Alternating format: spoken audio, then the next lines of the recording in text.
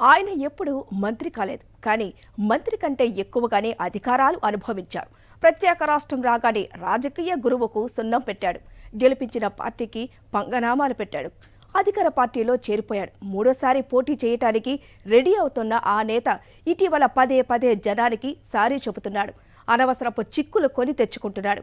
Senior ఎమ్మెల్యేకు sorry చెప్పాల్సిన అవసరం ఎందుకొచ్చింది? ఇంతకీ ఆ నేత ఎవరు? Watch the story.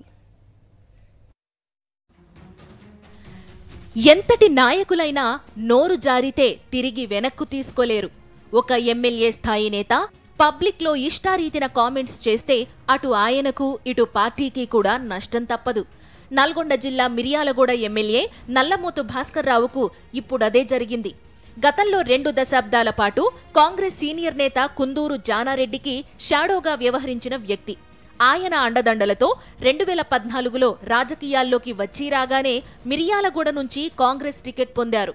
ఎమ్మెల్యే కాగానే గురువును వదిలేసి గులాబీ పార్టీలో చేరిపోయారు భాస్కర్రావు రెండు వేల పద్దెనిమిదిలో బీఆర్ఎస్ నుంచి టికెట్ తెచ్చుకుని మరోసారి పోటీ చేసి గెలిచారు. ఇంతవరకు బాగానే ఉంది. కానీ ఈ మధ్య ఎమ్మెల్యే భాస్కర్రావు చేస్తున్న వ్యాఖ్యలు ఆయనతో పాటు గులాబీ పార్టీని కూడా ఇబ్బందులకు గురిచేసేలా ఉన్నాయనే కామెంట్స్ వినిపిస్తున్నాయి. ఆ మధ్య అడవిదేవులపల్లి మండలం నర్సాపూర్ గ్రామంలో సీసీ రోడ్ల ప్రారంభోత్సవం సందర్భంగా ఆయన మాట్లాడిన మాటలు రాజకీయంగా దుమారో రేపాయి. మేము వేయించిన రోడ్లపై నడవద్దు. మేము ఇచ్చే సంక్షేమ పథకాలు తీసుకోవద్దని తాను తలుచుకుంటే ఐదు నిమిషాల్లో డాన్సులు చేయిస్తానంటూ ప్రతిపక్షాలే లక్ష్యంగా ఆయన మాట్లాడిన మాటలు ఆయనకు పార్టీకి డ్యామేజ్ చేసేవిగా మారాయి. జరిగిన నష్టం గమనించిన ఆయన తన వ్యాఖ్యలకు సంజాయిషీ ఇచ్చుకోవాల్సి వచ్చింది. ఆ ఘటన మరిచిపోకముందే మరో కార్యక్రమంలోనూ ఇదే రకంగా నోటి దురుసును ప్రదర్శించారాయన. మిరియాలగూడలో జరిగిన దళిత బంధు యూనిట్ల పంపిణీ కార్యక్రమం సందర్భంగా ఎంపీపీ సరళపై ఆగ్రహం వ్యక్తం చేశారు.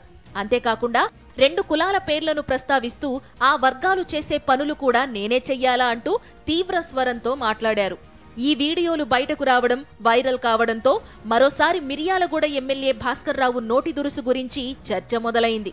బీసీ సంఘాలు ఆయనపై తీవ్ర ఆగ్రహం వ్యక్తం చేశాయి.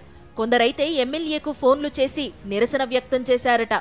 రెండు రోజుల పాటు ఎప్పుడు ఏ ఫోన్ వస్తుందో ఎవరికి క్షమాపణలు చెప్పాల్సి వస్తుందోనన్న ఆందోళన ఆయనలో కనిపించిందని అనుచరులే చెప్పారు.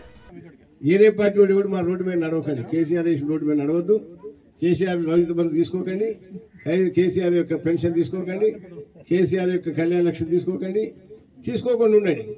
నేను కూడా డ్యాన్స్ చేపిస్తాను. ఎందుకంటే నా సంగతి మర్యాదకు ఉండేవాడి వరకు మర్యాద ఉంటా. మర్యాద తప్పితే మటుకు నేను ఎట్లా డ్యాన్స్ చేయాలో ఐదు నిమిషాల్లో మిమ్మల్ని డ్యాన్స్ చేపిస్తాను. దీంతో పరిస్థితి చేయి దాటిపోతుందని గ్రహించిన భాస్కర్ రావు క్షమాపణలు చెబుతూ వీడియో విడుదల చేశారు. తాను కావాలని ఆ వ్యాఖ్యలు చేయలేదని మరోసారి సంజాయిషి ఇచ్చుకున్నారు. ఎప్పుడు వివాదాలకు దూరంగా ఉండే ఎమ్మెల్యే కొంతకాలంగా పదే పదే నోరు జారడానికి ఆయనలో పెరుగుతున్న టెన్షన్ కారణం కావచ్చనే వాదనలు వినిపిస్తున్నాయి.